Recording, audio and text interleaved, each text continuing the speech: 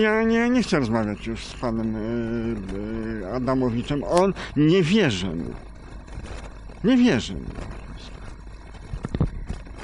Przyrzęśnie następnego dnia już y, odwróci się swoim szerokim tyłkiem i już nic z tego nie będzie. No.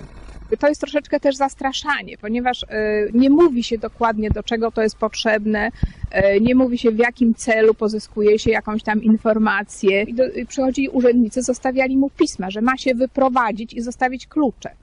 Nękali go takimi e, pismami, że ma się wyprowadzić. Gdańscy urzędnicy, tak dokładnie, nękali pismami bezpodstawnymi, że ma się wyprowadzić, bo nie ma prawa do zajmowania lokalu.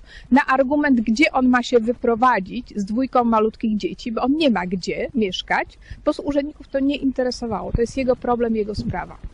Nasze państwo jest, jak widać, jeszcze ciągle zbyt słabe, żeby zrobić porządek z osobą, która ma tak wiele różnych zarzutów y, karnych i innych. No, to jest po prostu nienormalna sytuacja w Polsce, ale to się w tej chwili zmienia na lepsze. Mam nadzieję, że doczekamy czasu, kiedy pan prezydent będzie właściwie rozliczony. pan prezydent Adamowicz po prostu okazuje nam wyjątkowe lekceważenie. Kiedyś było spotkanie z panem prezydentem e, e, w tym w urzędzie miejskim, to się tak mówi, tak? Bo Tam, gdzie pan prezydent, no to nas po prostu jak chłopców potraktował niegrzecznie, arogancko.